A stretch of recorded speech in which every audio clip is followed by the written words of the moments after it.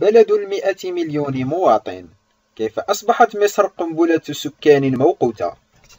لا شك أن أحد أكثر الأخبار لفتا للانتباه في الآونة الأخيرة كان إعلان الحكومة المصرية وصول تعداد المصريين إلى 100 مليون نسمة.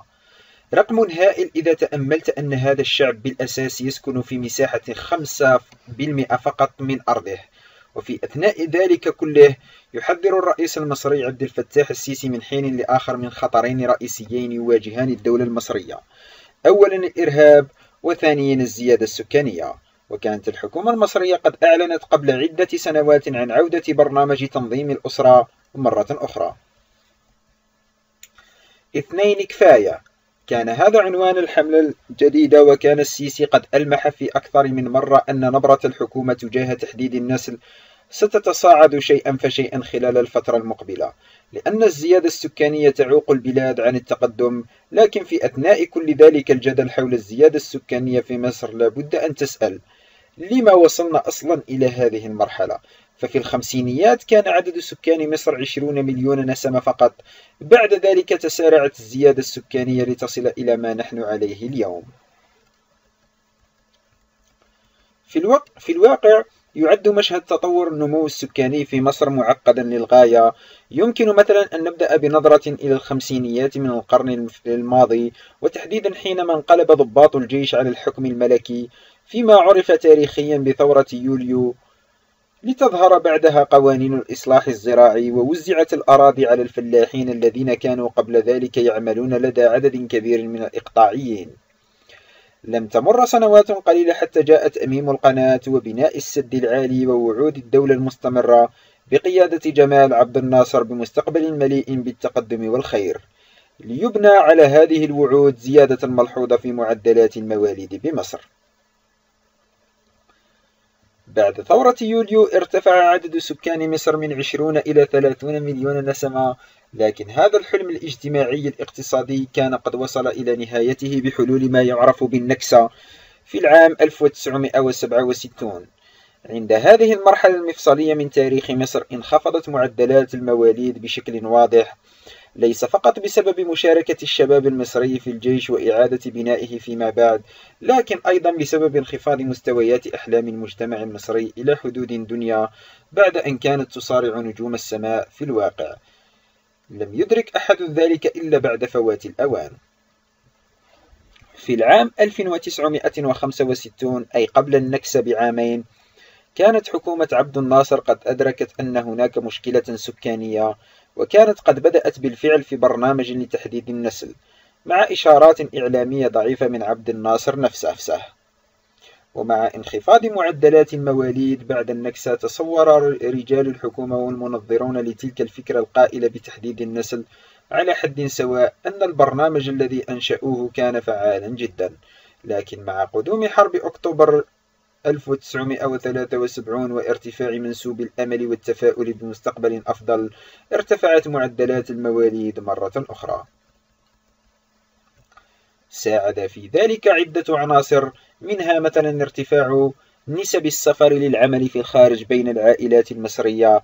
جاء ذلك في سياق اجتماعي جديد متفائل سكنته وعود الدولة بالرخاء الاقتصادي في ظل السلام المفترض الذي سيعم المنطقة خلال الأعوام القادمة. بعد الحرب وإتمام اتفاقية كامب ديفيد ومع سياسات الانفتاح كان كل شيء جاهزا لانفجار سكاني ثان في الثمانينيات من القرن الفائت حيث وصل تعداد السكان بمصر إلى خمسون مليون نسمة. لا يمكن بسهولة لسياسات الدولة أن توقف سيلا مجتمعيا جارفا من الأفكار حول الإنجاب إذا لم تكن جادة تجاه تلك الخطط.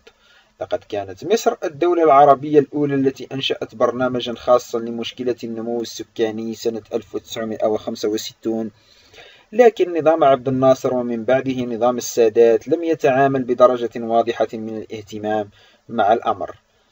وفي الثمانينيات من القرن الفائت كان الجدل حول كيفية التعامل مع تلك المشكلة ما زال قائما لكن الدولة في ظل الارتفاع المضطرد لمعدلات المواليد الذي وصل ذروته منتصف هذا العقد كانت قد عزمت عقدت العزم على اتباع الطريقة الأمريكاني. وهي الحد من أعداد المواليد. كان حسني مبارك مؤيدا شرسا لتلك الفكرة ومع دعم كبير من الوكالة الأمريكية للتنمية الدولية شهدت مصر انخفاضا لمتوسط معدلات المواليد كان الأفضل في تاريخها. لكن تلك النسبة توقفت عن الانخفاض بحلول العام 2007 وبينما تساءل البعض حول إن كانت مصر ستستمر في خفض معدلات نمو إعداد السكان وصولا إلى نقطة الاتزان أم لا. جاء الربيع العربي. لا أحد في الحقيقة يعرف سببا واضحا لذلك. قبل 2011 وخلال موجات الربيع العربي ارتفعت معدلات المواليد مرة أخرى في موجة من ثلاث شهدتها مصر خلال نصف قرن مضى. بالطبع هناك العديد من الأسباب المتوقعة حيث أدت الاضطرابات السياسية والاقتصادية إلى ضعف منظومة تحديد النسل وقدرتها على الوصول والتحكم في عدد أكبر من المواطنين خاصة أن السنوات الأخيرة من حكم مبارك كانت قد شهدت انخفاضا واضحا في دعم البرنامج وتوجيه الدعم إلى الرعاية الصحية الوقائية والعلاجية. ومع انخفاض المساعدات الأمريكية للمشروع انخفضت نسبة وصول وسائل تنظيم الأسرة إلى الناس وفي مقابل ذلك ارتفعت أسعارها في الصيدليات. أضف إلى ذلك أن مشروع تحديد النسل كان يخوض معركة جانبية مع بعض الآراء المحافظة المنادية بالتكاثر. وما إن أصبح المشروع هشا حتى امتلكت تلك الآراء بعض القوة خاصة بعد الثورة المصرية في 2011 في النهاية فإنه يمكن لك أن تلاحظ هذا التراجع لدور تنظيم الأسرة بصورة واضحة في رواج حبوب منع الحمل مقابل استخدام اللولب الرحمي. ما يعني ميلا أكبر لدى العائلات لفترات قصيرة بين الطفل والذي يليه حيث يمكن إيقاف الحبوب في أي وقت بينما يمتد أثر اللولب وهو أداة توضع في الرحم يمتد أثره لسنوات ويعني استخدامه ميلا ناحية ناحية تأجيل الحمل لفترة أطول. في كل الأحوال فإن ما حدث في مصر خلال قرن مضى كان تراكما لعدد من المشكلات فوق مشكلة رئيسية لقد دخلت البلاد هذا القرن بمعدلات خصوبة مرتفعة نحو من ستة إلى سبعة أطفال لكل امرأة.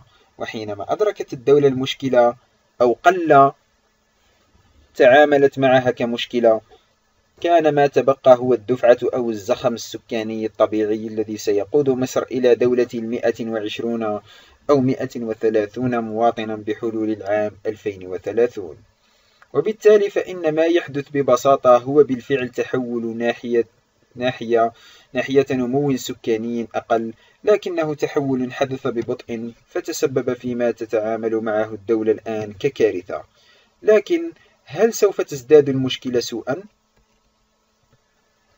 للإجابة عن هذا السؤال يجب أن نضع في الاعتبار عدة معايير تتعلق بالاقتصاد المصري والرؤية السياسية كنقاط أساسية بمعنى أن برنامج تحديد النسل ستؤثر بالفعل على النمو السكاني إذا طبقت باحترافية ودعمت بشكل جيد لكن ذلك لا يشير إلى أنها ستنخفض بشكل مستمر إلى النهاية.